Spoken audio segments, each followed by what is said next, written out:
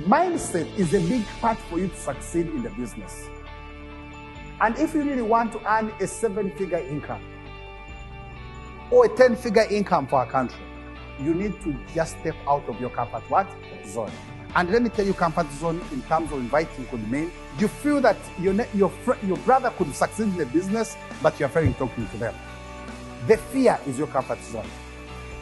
You feel that someone could be good in the business, but you're prejudging yourself. That is your comfort zone. When you can approach anyone without fear or favor, you have gotten out of your comfort what? zone. Comfort zone is talking to easy people talk to. Comfort zone is talking to easy place. Comfort zone is playing it safe with the people instead of talking to everyone, to the business builders, people who can change your business.